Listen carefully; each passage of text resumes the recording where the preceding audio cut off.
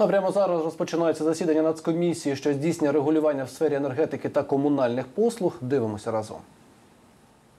Це ваше рішення дає можливість олігархам покласти в кишеню по року 24 мільярди гривень. Тому що всі знають, що більше 70% облгазів належать Фірташу, Льовочкіну і Бойку. Ми висунули цю вимогу на засіданні уряду, коли були. Ми висуваємо цю вимогу і до вас.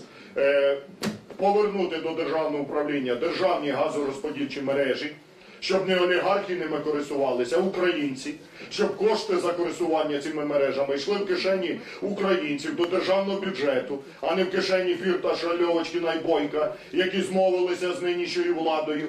І в результаті цього платять українці. Тому вимоги фракції радикальної партії, як і всіх українців, дві скасування абонплати про якою фактично збільшується вартість для українців споживання газу. І друга вимога це повернення до державної власності газорозподільчих мереж. Сподіваємося, що ви ці вимоги наші почуєте і задовольните. Дякую. Можна відповісти? Да, будь ласка. Шановна фракція, шановний Олег Валерійович, ми сьогодні е, маємо прийняти рішення, як було озвучено департаментом, про те, щоб скасувати, провести додаткові консультації, забезпечити, щоб для жодного українця не було жодного підвищення в результаті цього рішення.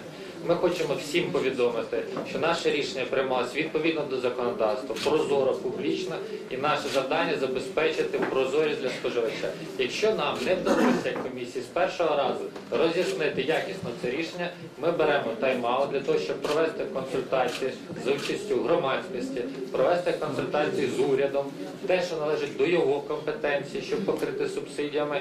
І поки це рішення будемо деталізовано вивчати, переглядати. Тобто ми правильно, вибачте, ми правильно зрозуміли, що ви скасовуєте своє попереднє рішення. Ми наше рішення, яке прийняли і мало застосовуватись з 1 квітня, повністю змінюємо. Скасовуємо. Це ідентичні речі. Юридично воно можливо інакше називається, але відбудеться скасування рішень, вони не будуть застосовуватись, і для жодного українця підвищення не відбудеться. Супер. Друге Друга питання. Повернення до державного управління газорозподільчих мереж, якими олігархи безплатно користуються, грабуючи українців. Питання власності мереж не належить до компетенції комісії. Ми при цьому розробили проект закону, відправляли його на уряд, готові вам передати народним депутатам, щоб зареєструвати, щоб всі мережі були у власності держави, а кошти від її оренди надходили до державного бюджету. Ми це категорично підтримуємо. При цьому наше завдання, щоб споживачам була і безпека, і прозорість, щоб вони знали, за що вони платять. Дякую.